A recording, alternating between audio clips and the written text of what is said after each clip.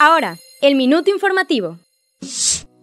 El presidente de México, Andrés Manuel López Obrador, llama a las empresas privadas para revisar convenios con la Comisión Federal de Electricidad.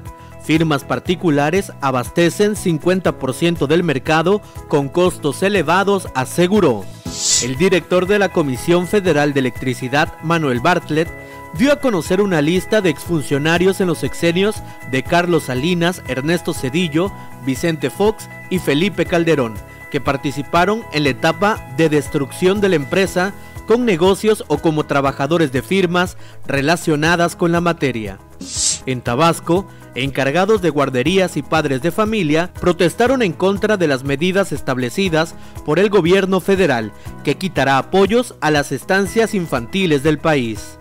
Esta mañana la alcaldesa de Comalcalco, Lorena Méndez Denis, puso en marcha el programa de mejoramiento de vivienda. En la primera etapa se realiza una inversión de 70 millones de pesos para un total de 800 mejoramientos en 43 comunidades.